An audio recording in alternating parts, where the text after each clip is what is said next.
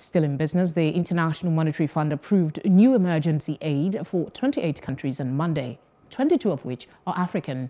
Funds received will enable these nations to either pay back their debts or mitigate the debilitating impact of COVID-19 pandemic on their soil.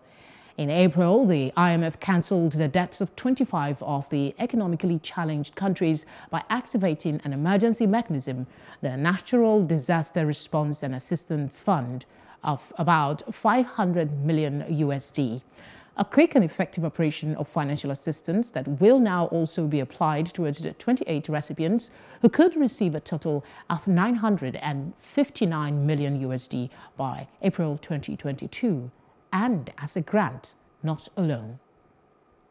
Hello, hope you enjoyed the news. Please do subscribe to our YouTube channel and don't forget to hit the notification button so you get notified about fresh news updates.